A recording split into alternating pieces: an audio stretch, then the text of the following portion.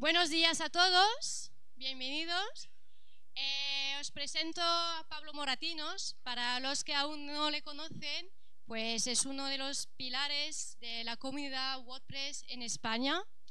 Ha sido voluntario, asistente, ponente, ha creado las meetups de WordPress en Irún y ha montado WordCamps, por supuesto. Y también es fundador de la agencia de marketing online 3 y media y hoy nos va a hablar de AB testing. Y pues damos la bienvenida a Pablo. Un fuerte aplauso. Muchas gracias. Hola, eh, muchas gracias por estar aquí. Eh, me gustaría empezar eh, la charla con dos citas que creo que son bastante interesantes para empezar a reflexionar, porque mi charla va a estar dividida en dos partes, una parte un poquito más de reflexión sobre lo que es el, el A-B testing y otra más práctica, donde va a estar un poco la chicha de qué plugins debéis instalar y consejos así un poco más hard. vamos a ver. Aquí estamos. La charla es de una persona, de un sabio, de, iba a decir de nuestro tiempo, por lo menos del mío, Ninguna cantidad de experimentación puede probar definitivamente que tengo razón, pero un solo experimento puede probar que estoy equivocado. La experimentación es fundamental a la hora de la toma de decisiones. Esto lo dijo Albert Einstein, como os decía, un sabio por lo menos de, nuestro tiempo. Son las decisiones, de nuevo las decisiones, las que nos hacen ser quienes somos. Otro sabio de nuestro tiempo, Spider-Man. Freddie Mercury tenía un complejo eh, bastante potente con el tema de, sus dientes, ¿vale? de su dentadura. Entonces, durante toda su vida estuvo pensando que cuando tuviera el dinero suficiente, iba, cuando tuviera el dinero suficiente para pagarse una operación de ortodoncia, lo haría. El problema es que cuando llegó el momento en el que tenía dinero para pagar no solo su ortodoncia, sino toda la gente que estamos aquí, pues pensó que se asustó y pensó que eso podía afectar a su voz. Y terminó por no operarse. Entonces, la forma de camuflar un poco ese complejo que tenía fue dejarse bigote. En el año 1980 eh, apareció la primera foto de él en la portada del álbum Play the Game, en el que aparecía con bigote. A mí me gustaría pensar que antes de hacer esa foto estuvo probando con sus amigos, con sus familiares, si el bigote le quedaba lo suficientemente bien. Hizo su pequeño test A-B, seguramente. Como ha dicho Aure, me llamo Pablo Moratinos, trabajo en Tres y Media Comunicación Digital y escribo en el blog eh, de Rayola Networks eh, temas especializados en WordPress. Y me gustaría decir con vosotros, eh, o compartir con vosotros, cómo veo yo que creo que son los test A-B y cómo en realidad lleváis toda la vida realizando test A-B vosotros, incluso sin saberlo. Un test A-B no es más que un experimento en el que lo que hacemos es dividir todo el tráfico que llega a nuestro sitio web o a nuestra aplicación, lo dividimos en dos versiones de nuestro sitio donde podemos estar probando diferentes botones, diferentes contenidos, diferentes estilos. Vamos a ver hoy qué tipo de cosas son las que podemos, las que podemos testear. En ambas versiones medimos el rendimiento que nos ofrece cada una de ellas. Lo más habitual suele ser la tasa de conversión, el índice de ventas, el, el, CTR que tenemos en un botón, datos de ese tipo. Y elegimos cuál es la opción ganadora. Esto nos ayuda a tomar una decisión. Esto nos permite optimizar nuestro sitio web o nuestra aplicación. Es algo tan sencillo como esto. Como os digo, lleváis toda la vida haciendo eh, A-B testing, incluso sin saberlo. Por ejemplo, cuando salimos a ligar o cuando salimos de fiesta y nuestro factor de conversión es el conseguir ligar efectivamente, pues una de las dudas podría ser si me dejo flequillo o no me dejo flequillo. O podría ser si salgo con gafas y doy una pinta de intelectual o me pongo las lentillas y estoy, no sé, pues mejor con las gafas. Entonces, ¿nosotros qué hacemos? Toda la vida nos acordamos de lo que nos dijeron el día que nos pusimos gafas y de lo que nos dijeron el día que nos pusimos las lentillas y tomamos una decisión para optimizar la conversión de esa noche. A veces, eh, no, era un chiste, ¿eh? todos sabéis que es cierto. A veces el, testeo se complica porque no es llevo gafas o llevo lentillas, sino que llevo un peinado, otro u otro. Esto es un test ABC, pero que simplemente es un test AB un poco más complejo, nada más llevamos toda la vida haciendo test multivariante y esto sí que ya es realmente más complicado. Fijaros, en este ejemplo de, este, esta persona desconocida, eh, tenemos diferentes elementos que afectan a las decisiones que tiene que tomar para esta noche. Vemos que tiene el pelo largo, vemos que lleva gafas, vemos que va sin afeitar y que lleva una ropa casual, ¿no? como suelo yo a trabajar. Entonces, luego tenemos otra versión y en este caso no se trata de la versión A o la versión B, sino que tenemos un montón de versiones intermedias. En realidad, 16 versiones intermedias de Brad Pitt. Y tenemos que analizarlo de esta manera para poder saber cuál combinación ideal. quizás eh, llevar gafas no iba bien con llevar el pelo corto. Entonces, lo que hacemos es testear todas esas 16 versiones. Fijaros cómo se complica el tema cuando pasamos de un simple test A-B a un test multivariante con cuatro variaciones. enhorabuena, porque si hay alguien aquí que no viene del marketing, no hace falta saber nada de marketing para hacer un test A-B. Esto es un poco para suavizarlo. Sí que hace falta saber un poquito, pero sobre todo hace falta saber dos cosas. Sentido común, tener dos cosas, sentido común y curiosidad. El sentido común nos ayuda a, identificar o a estudiar cómo leemos habitualmente una web. Y aquí van dos cosas muy, muy conocidas. La lectura de una web siguiendo un patrón en formato de Z. Generalmente, en las páginas web es muy habitual que coloquemos el logotipo de la marca arriba a la izquierda y las llamadas a la atención, las llamadas a la acción, los CTAs, normalmente en la parte derecha inferior, siempre por encima del scroll, normalmente. ¿vale? Esta estructura se repite habitualmente y esto no es de hoy. ¿eh? Sabemos desde hace mucho tiempo que en nuestra cultura occidental consumimos así el contenido, con lo cual ya tenemos un punto de partida para empezar a testear. Además, tenemos los conocidos como patrones en forma de F, que son esos patrones que se identifican cuando hacemos un scroll dentro de nuestra página y generalmente los puntos que vemos en rojo, los colores son los donde más se centra la atención de mayor cantidad de usuarios. Luego volveremos a hablar otra vez un poquito sobre los mapas de calor, porque Quizás alguno no lo sabe, podéis hacer mapas de calor gratuitamente en vuestra página web sin tener que instalar ningún software computador ni ningún hardware específico. Luego volveremos un poquito sobre los mapas de calor. En este caso en concreto vemos un mapa de calor donde podemos ver claramente cómo se centra la atención del usuario, particularmente en el headline que tienen ahí, esa zona donde aparece un poco el, el el quiénes somos o algo así, el menú de navegación y cómo la atención luego va disminuyendo la página. Estas son cosas bastante habituales, se repiten regularmente. No quiere decir que en mi página esté pasando esto, ¿eh? pero es probable que pase algo parecido a esto. Como decía, patrón en forma de F, lo que nos da es un poco de vista de colocar la propuesta de valor arriba, después una estructura de navegación en el lateral izquierdo y por fin la llamada a la acción abajo a la derecha. Esto simplemente es un poquito de sentido común. Y después tenemos la curiosidad. Una vez que yo he creado una sesión de control de lo que yo quiero testear, la curiosidad es la que me ayuda a crear versiones alternativas de mejora. ¿De dónde podemos sacar las ideas para crear esas versiones de mejora? Bueno, pues hay fundamentalmente tres elementos. Los mapas de calor, como hemos visto ahora. Si yo creo una versión de mi página, lo que se llama una versión de control, la versión inicial, y coloco una medición con, con un headmap, con un mapa de calor, lo que estoy viendo es dónde se está fijando la atención de la mayor cantidad de usuarios. Quizás no coincide con lo que yo había previsto inicialmente. Si no, coincide, puedo generar una versión alternativa donde los elementos fundamentales de conversión para mí estén los puntos rojos y comprobamos si el rendimiento es mejor. Esto es un tema de curiosidad, pero es algo como muy, muy sencillo. ¿no? A todo el mundo le parece evidente que donde estén los puntos calientes es donde tengo que poner los elementos de conversión fundamentales. Otro punto de partida para conseguir ideas puede ser Google Analytics. Y Google Analytics tenemos como 170 informes y la verdad es que es, es un poco locos, pero vosotros sois los que mejor conocéis vuestros sitios puntos de mejora. Pueden ser, luego lo veremos en un ejemplo, páginas con una alta tasa de abandono. En vuestro embudo de conversión puede suceder que si una persona tiene que pasar por la página 1, 2 y 3, quizás en la página 2 tenemos una tasa de abandono muy superior al resto de las páginas. ¿Qué está pasando aquí? Vamos a crear de mejora sobre esa página se cumple o no. Y un test A-B, como vamos a ver, es muy barato, muy, muy sencillo de realizar. Y luego tenemos la parte un poco más de experiencia de usuario, donde tenemos eh, posibles eh, encuestas de satisfacción. En este caso estamos viendo una encuesta de tipo Net Promoter Score. Voy a publicar la, presentación luego en Twitter y hay enlaces en las diapos para que eh, podáis conseguir más de recursos sobre ¿vale? Y aquí lo que nos estamos preguntando a la gente es pues del 1 a 10, qué nivel de satisfacción tiene con mi servicio y si eh, se lo recomendaría a un amigo o a un familiar.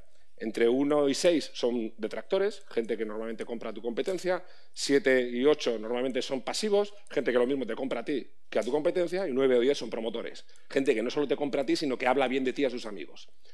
En función de lo que haya votado, nosotros podemos preguntarle cuál es el motivo de que haya votado tan mal o qué es lo que más le ha gustado para votar tan bien. Y ahí tenemos un elemento en el que podemos trabajar para mejorar nuestro sitio. Si la gente lo identifica como un problema, como una pega para recomendar tu negocio, ahí tenemos una oportunidad de mejora. Vamos a ver algunos ejemplos, que normalmente es lo que más le gusta a la gente.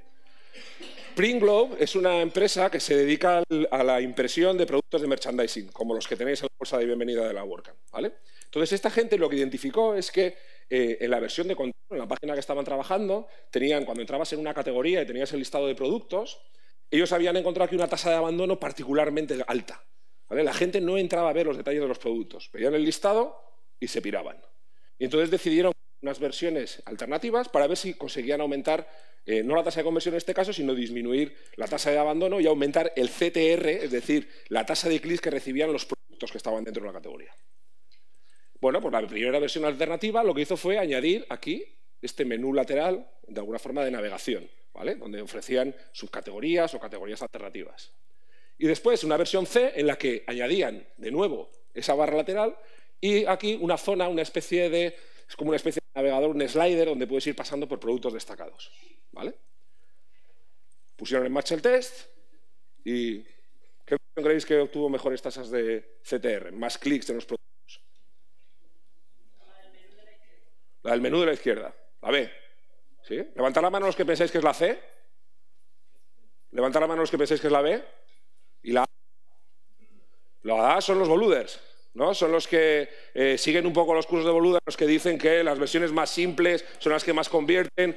Pues no a todo el mundo le funciona lo mismo. En este caso, la opción C obtuvo un CTR de 18,5% superior al resto de las opciones. Es decir, la versión más compleja.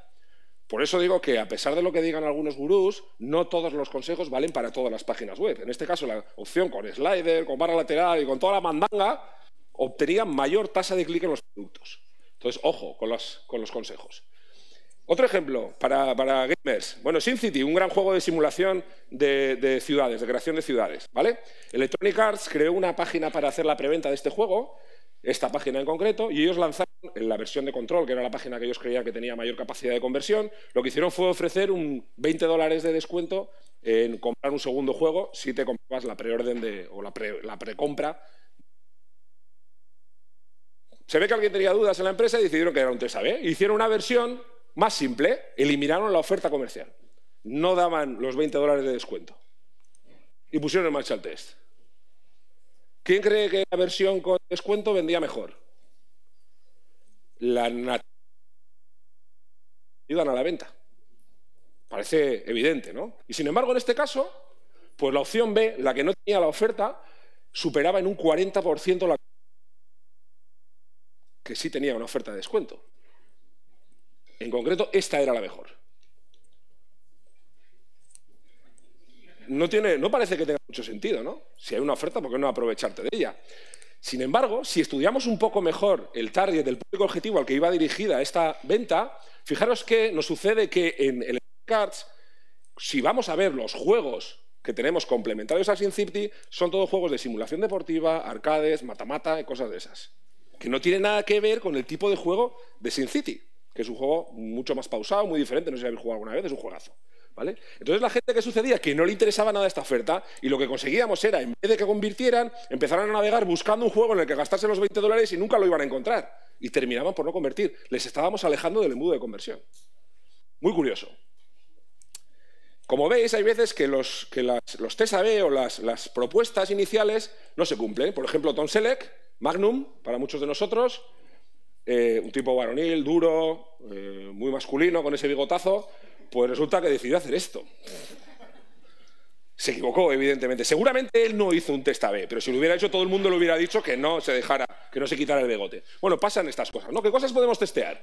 Bien, podemos testear, no sé, porque esto seguramente habrá gente que le, aportará ideas. Páginas, WordPress, custom post types, es decir, eh, productos de una tienda, cursos, lo que vosotros hayáis en vuestro sitio titulares de cualquiera de estos elementos, solo los titulares, extractos, los resúmenes que luego aparecen en los Google o en los snippets de las redes sociales. Muy interesante porque un extracto puede provocar versiones en una red social que en otra, hacer pruebas. Llamadas a los clásicos CTAs, botones, menús, formularios, muy interesante, los test con formularios, widgets de vuestra sidebar, de vuestra barra lateral, por ejemplo, pies de página y cabeceras. Y en cada uno de estos elementos podemos probar el contenido, el estilo y la estructura. Las posibilidades son infinitas en vuestros sitios web. Es brutal la cantidad de cosas que podemos testear. Entonces, el problema que tenemos es que si empezamos a trabajar, nos encontramos con tenemos que cumplir unas reglas básicas para evitar el hacer test por hacer test, porque esto es la leche también. Como se puede testear todo, empiezas como un... hacer el test, pues empiezas por lo más sencillo que te puedas imaginar y a ver qué pasa. O porque la de los test sabe de todo el mundo tiene una media de optimización en la conversión general de los sitios de un 1,8%, que es una mierda. ¿Vale? Para eso hay, seguramente hay cosas que son eh, igual de fáciles o difíciles de hacer y merece más la pena hacer otras cosas. Entonces lo importante es Hacer las cosas con un poquito de criterio. Y de eso van estas reglas básicas. Primero, tener expectativas reales. O sea, no te va a cambiar la vida un test A-B, ¿vale? Ni aunque lo hagas con tu pareja. O sea, comprender vuestras limitaciones o nuestras limitaciones. Nuestras limitaciones para hacer test A-B son el volumen de tráfico que tenemos, el tiempo de exposición que podemos tener el test en marcha y también, por supuesto, la espera de mejora que vamos a sufrir, ¿no? Sufrir o disfrutar. Crear una lista de oportunidades, es decir, crear una lista de todos los test A-B que crees que puedes hacer. Oportunidades de mejora. Cosas que tú, viendo el mapa de calor, viendo el analytics, viendo las encuestas, las encuestas de usuario, dices, ostras, esto se puede mejorar, esto se puede mejorar. Aquí he creado una hipótesis de mejora. Creo que si hago esto, esto funcionaría mejor. Creamos una lista y después lo que hacemos es priorizarla. Por ejemplo, la que necesite mayor menor cantidad de tráfico, la que necesite menor tiempo de exposición o la que pueda esté eh, infiriendo que puede tener una mejora mayor en la optimización de la conversión o de la optimización que sea. Esos serían los tres criterios. Y hago una lista para priorizar qué, por qué test tengo que empezar. Y luego no te flipes mucho, porque hay gente que empieza a hacer test y diga, aquí vamos a hacer un multivariante, como el de Brad Pitt. imaginad que dividís vuestro tráfico entre 16. Eso es una burrada, salvo que seáis Fernando Tellado, que tengas una burrada de tráfico, pues yo divido mi tráfico entre 16 y hasta luego, Lucas. O sea, estoy haciendo la prueba con mi madre, con mi mujer y con alguna de mis hijas, ¿no? Bueno, ¿cómo podemos priorizar? ¿Cómo podemos hacer esos cálculos que os he dicho? Porque ¿cómo sé el tráfico que necesito para hacer un test A-B?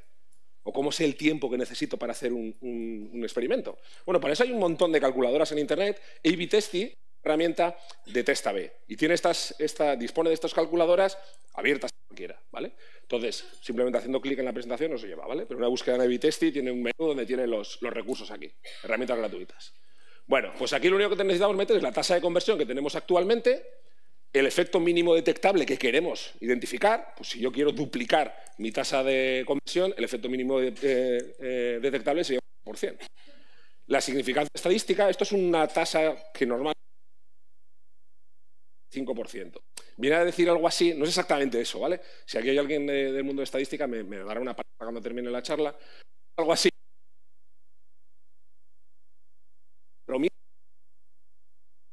Pero que tiene. No es eso, pero bueno por explicarlo muy rápidamente. Y el poder estadístico no hace falta que varíes este valor. Y esto nos da el número de usuarios que necesitamos para cada una de las variaciones. Claro, aquí dices, hostia, o claro, es que hace falta tener bastante tráfico. Depende. Cuanto mayor es el efecto mínimo detectable, menos tráfico necesitas. Porque es más fácil notar si una segunda versión te duplica la conversión que si solamente la suben 1,3% es más fácil evaluar opciones que son muy distintas en cuanto a rendimiento que eh, variaciones pequeñas. Entonces, esto, cuando tenemos poco tráfico, tenemos que ir buscando efectos mínimos muy altos. ¿vale? Es decir, cambios que realmente sean radicales en el rendimiento de vuestra web. Y después tenemos la, calculadora de duración, el tiempo, la media de usuarios que tienes, el número de variaciones, y aquí te digo los días que necesitas de test. ¿vale?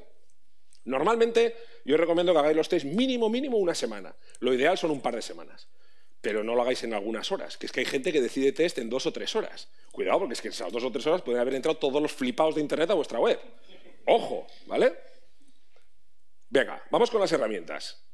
La madre que los parió a todos es Google Optimize. Es una herramienta estupenda para realizar test A-B.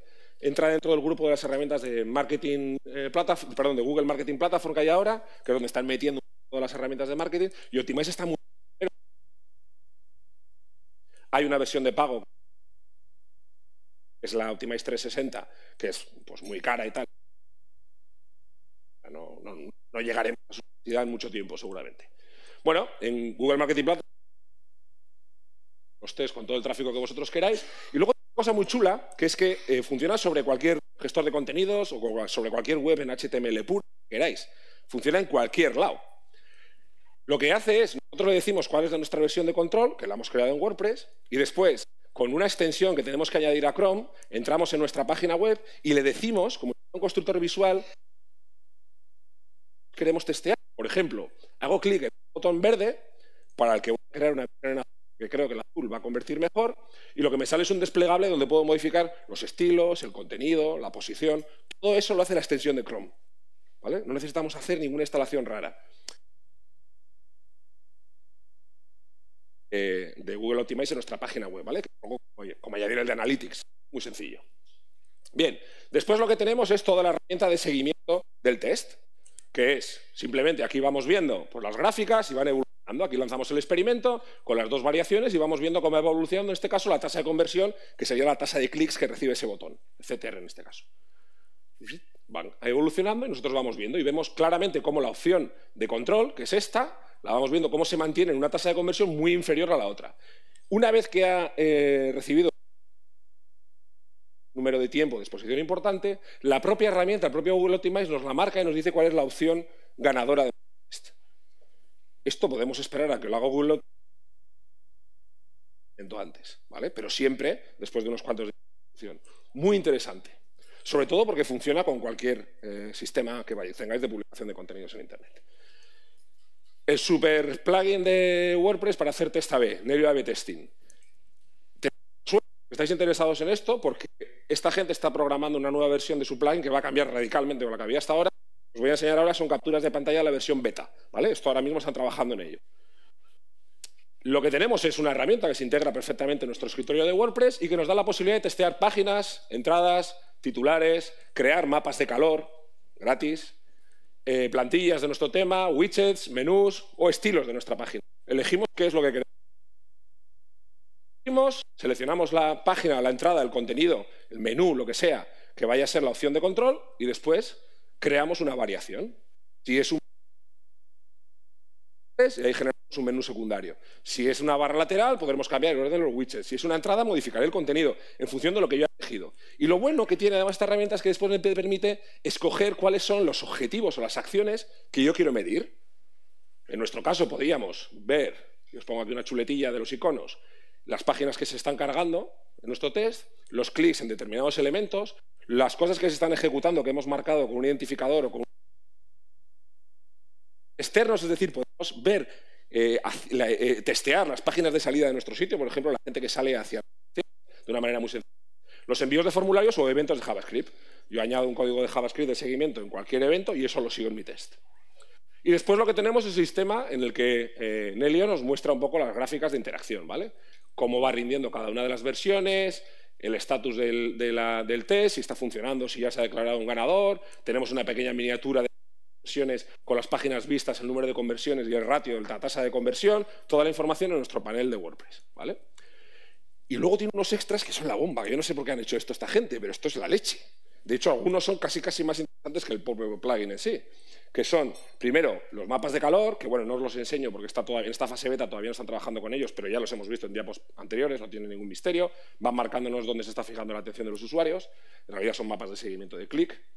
Y después tenemos un mapa de calor del scroll de la página para que nosotros sepamos hacia, hasta dónde llegan los usuarios, si está leyendo esas mierdas que hemos puesto ahí abajo, porque igual lo vemos todo en azul oscuro, en negro y ahí no está llegando nadie, está bastante bien. Joder, la página tiene un montón de cargas, ya, ya, pero es que nadie baja hasta allí. Y esto nos lo dice, por eso no recibes clics. Y después tenemos los mapas de confeti. Esto, ellos le llaman confeti, yo le llamo mapas de confeti, esto es una cosa que me he inventado, yo no sé si coincidirá, ¿eh? pero no lo busquéis porque probablemente no exista. Y lo que nos indica son dónde está haciendo clic la gente concretamente. Cada puntito es un clic de un usuario. Y el código de color nos indica algo que vamos a ver aquí. Fijaros, lo que tenemos es la posibilidad de hacer seguimiento de los diferentes clics que realizan los usuarios segmentados por navegador, por país, por día de la semana, por tipo de dispositivo, sistema operativo, hora del día, tiempo que han tardado en hacer clic desde que se cargó la página y el tamaño de la ventana de navegación. Esto es la leche. Esto es la leche porque yo puedo ver si un clic que he colocado en una llamada de acción en determinado tiempo, si la gente está tardando mucho en hacer clic o tardando poco. Si tardan poco, no se han leído el texto de venta, la carta de ventas. Si tardan mucho, es más probable que se hayan leído la carta de ventas o que hayan llegado a otro lado. O dónde se está eh, produciendo el primer clic que hacen en la página, porque a veces abrir una pestaña, abrir una pestaña, abrir una pestaña, sí, pero ¿cuál de esos clics fue el primero? Que es que esto me interesa. Mapa de confeti, ¿eh? Muy guay. Y luego hay una herramienta que es súper sencilla. Esto sirve para hacer test AB, no sirve para hacer test ABC ni test multivariante, las otras herramientas sí, que esto es una gente que no sé quiénes son, que tienen un plugin con siete instalaciones, una es mía, digo, siete, serán 20, ¿eh? pero vamos, muy pocas, y hace muy bien eh, lo que tiene que hacer, que son test AB simples, y además es el único que trabaja directamente, eh, es verdad que de hecho la versión nueva de Nelio es por Gutenberg, es que se han integrado muy bien en Gutenberg, porque lo que hace es generar un contenedor en Gutenberg donde podemos meter todos los bloques que queramos y esos bloques tendrán dos versiones. Es decir, el contenedor marca dónde estoy realizando el test. meto aquí los bloques y luego tengo aquí las dos variaciones y la distribución de tráfico que quiero hacer para cada una de ellas. Quizás quiero desviar más tráfico a la versión B que a la A, lo que sea, ¿vale? Pero aquí lo tengo con Gutenberg. Una vez que termina mi experimento, vengo aquí, elimino el contenedor de testa B y se queda el que yo he querido, el que es la versión ganadora. Súper chorra y súper fácil. Muy bien. Os he hecho una tabla para que veáis un poco las diferencias entre cada una de las versiones, ¿vale? Cuáles son un poco las ventajas que yo veo en cada uno de ellos. Uno de los factores interesantes es este del precio, supongo que no lo estabais evaluando, pero bueno, que es que el Nelio en concreto es freemium, una, tiene una versión en el repositorio con un límite de test o un límite de tráfico que podéis testear y luego hay que pagar. Y es un plugin que, bueno, eh, como todos los plugins de marketing, pues tiene un precio importante. Pero Optimize es gratuito y este último, que es el que menos tiene, de momento es gratis, no tiene una versión de pago ni nada. Ahora, yo no sé si esta gente va a seguir con esto o dentro de seis semanas abandonarán el proyecto. No lo sabemos nunca. Os lo he puesto porque creo que es una, eh, es una iniciativa interesante para seguirla. ¿vale? Al final, lo que vemos es que se pueden testear un montón de cosas, que encima es sencillo testear cosas y sobre todo, que es que es barato. Lo único que necesitamos es tiempo de exposición y vuestras páginas ya están expuestas. Creamos nuestra versión Última cita. Empezaba con citas y termino con una. En este caso es una cita de Justin Cutrioni, que es un tipo muy importante en todo el mundillo del marketing dentro de Google. ¿eh? El testeo es esencial porque elimina las opiniones del proceso de toma de decisiones. Esto es la leche cuando tienes que explicarle a un cliente por qué no vas a hacer lo que está empeñado en hacer. Porque has hecho el test y no tiene razón. O igual tienes que comer, ¿eh? Pero, pero nos sirve para explicar por qué tomamos decisiones, porque las opiniones siempre están basadas en nuestra propia experiencia, por muy buenos que seamos, en nuestra experiencia y en nuestro punto de vista, no el de nuestro target. Aquí es el público objetivo el que marca. ¿De acuerdo? Muchas gracias.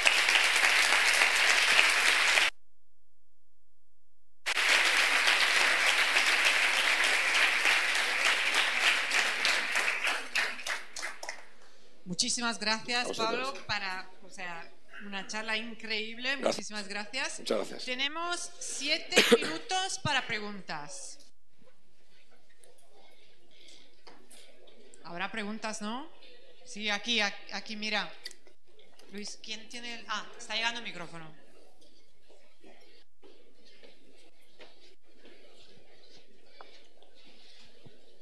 Hola, ¿escucha? Hola. Sí, creo que sí. Hola, buenas, muchas gracias por la charla. Nada, eh, el tema de la encuesta de satisfacción que has puesto, eso, ¿cuándo es ideal ejecutarlo? Quiero decir, porque si es un cliente que ya me ha convertido, yo a mí lo que me interesa es un poco también, creo, eh, saber el cliente que no me ha convertido.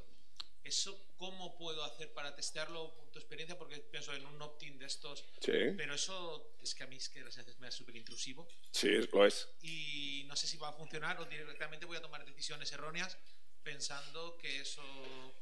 Las, las, encuestas de satisfacción es una de las mejores formas de saberlo. Es verdad que están muy pervertidas, en concreto los, los net score, que son estas que se evalúan de 10, eh, yo creo que todos hemos sufrido alguna de estas en el taller mecánico, no sé qué, hay entidades que lo tienen como muy metido en, la, un poco la filosofía de la empresa. Pero realmente funcionan muy bien. El momento de dispararlas lo tienes que decidir tú. Eh, no hay un, es, más una estrategia más que un formato en concreto. Hay gente que la tiene al final del carrito del WooCommerce en el momento que has pagado y entonces te la dispara. Hay gente que la tiene cuando te vas a ir de la web y vas a abandonar. Seguramente muchos habéis visto que estáis en una página web, lees algo y cuando te vas a ir sale el, pop-up para decirte que te suscribas al newsletter. Pues eso es un momento también en el que si, si tú haces una, una condicional y dices si no ha habido compra y sale el ratón fuera de la ventana de navegación, dispara entonces. ¿Qué es lo que pasa con esto? Que necesitas un mogollón de tráfico, porque la tasa de la gente que rellena el informe es muy baja. Pero no hay casi nadie que rellene el informe para fastidiar o porque quiera hacerte daño, porque es que esos ni siquiera lo van a rellenar. Lo que tenemos ahí, lo bueno, es que por encima de la valoración de la nota siempre va asociada una pregunta condicional que hay después, de por qué has hecho eso. Ya sabemos que hay poca gente que vota y todavía menos gente que responde a la segunda pregunta, pero la gente que la responde para ti tiene un valor increíble, porque es un tú a tú con tu cliente. Lo ideal de todo esto es cargar tu página en un laboratorio con 50 tíos y tías y les vas diciendo, les vas poniendo tareas de navegación y que ellos vayan grabando en formato audio cómo está siendo la experiencia de navegación. Pero eso vale un mogollón de pasta. Claro, pero eso es lo ideal. Tú le vas poniendo tareas, les pones un micro y les vas diciendo, oye, venga, y ahora compra... Y la gente... No. Estos test de laboratorio son bomba, pero joder. Eso es. Gracias. Nada, placer.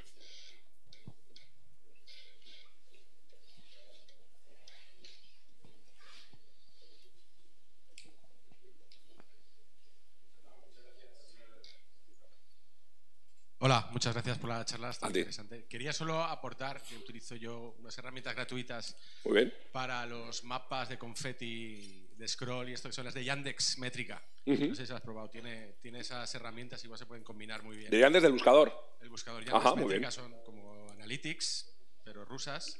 Y tiene esas herramientas gratis y van de maravilla. Ah, pues genial. Muchas gracias por el aporte.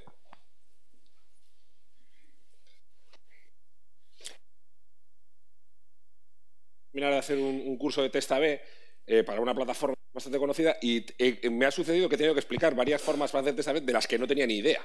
Porque claro, en esto pasa como con todo. Una vez que encuentras la herramienta con la que...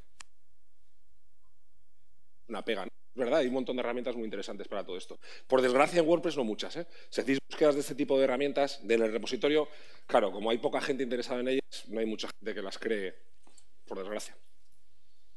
Prueba eh, Split Hero. Luego, Muy bien. Vale.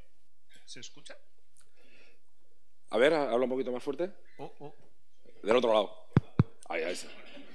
Eh, bueno, lo primero me siento como Brad Pitt. Tengo el pelo largo, gafas. Eres igual, eres igual. casual. Normal, Me siento como normal. Brad Pitt. Y luego Yo la, te veo así. La pregunta. la pregunta has dicho que eh, el tiempo pondrías un, un test AB sería básicamente unas dos semanas. Una cosa así. Si no vais a estar, por ejemplo, la, tercera herramienta que hemos visto, que no hace un seguimiento de la, de la evolución del test, en el sentido de que no te da un ganador, tienes que hacerlo tú, como mínimo que esté un par de semanas. Yo digo como mínimo una semana y lo ideal son un par de semanas. Eso era lo que te iba a preguntar. ¿Cuál, cuál sería el, el punto más extremo mínimo? ¿Sería Una semana. Una semana. Y hay un extremo máximo, ¿eh? No podemos tener un test indefinidamente en marcha. Un test que lleva un año en marcha tiene los, los resultados absolutamente contaminados. No lo dejéis en marcha y, va, esto ya el año que viene lo miro y tal. No, porque el problema es que la estacionalidad está afectando mucho al rendimiento, ¿vale? Y hay épocas del año con mucho más tráfico y pues probablemente el tráfico tiene otro interés en ese momento. Entonces, eh, test de más de un par de meses o así suelen estar muy contaminados, ¿eh? Los- las estadísticas se vuelven un poco locas. ultimísima pregunta. Si hay alguien, pero Hola, hola, ¿se me oye? Sí. Vale, yo quería hacerte una pregunta eh, aquí, Sí, sí, te veo, te veo. vale, como las ruedas de prensa. eh, que en Optimize, a veces haciendo eh, experimentos A-B, Sí. eh, me ha pasado que, que incluso dividiendo el tráfico a 50%, eh, después de una semana veo que, que las sesiones que hay en la versión A y en la versión B no son las mismas, pero ni de cerca. O sea, a lo mejor unas son 3.000 y otras son 2.100. Entonces, o ¿eh? 2.200. Sí. entonces, no sé por qué puede pasar eso. Entonces, eh, una moneda al aire, hay, un- factor, hay un algoritmo de compensación de alguna manera, pero normalmente tiende a ser el 50%. Es verdad que cuando eh, haces, en teoría, cuanto más, testeando, por ejemplo, te puede pasar que el plugin o lo que estés utilizando y estás viendo que sale todo el rato la misma versión, hasta que de repente sale la segunda, ¿no? Pero no debería haber diferencias tan significativas. A mí me parece, mu- me parece mucho. Yo, evalu- yo comprobaría que efectivamente estás desviando. Ya sabes que Optimize tiene una herramienta para decir qué tráfico. Verificarlo y bueno, pues, a ver, eh, no debería pasar eso. No, no, no es normal que haya tanta diferencia. No, alguna vez- es- me parece mucho. vez ha pasado. Me ha pasado. Diferencia en un test con 5.000 visitas. vale. Gracias. Muchísimas gracias otra vez. Pablo, y a vosotros también. Gracias. Gracias.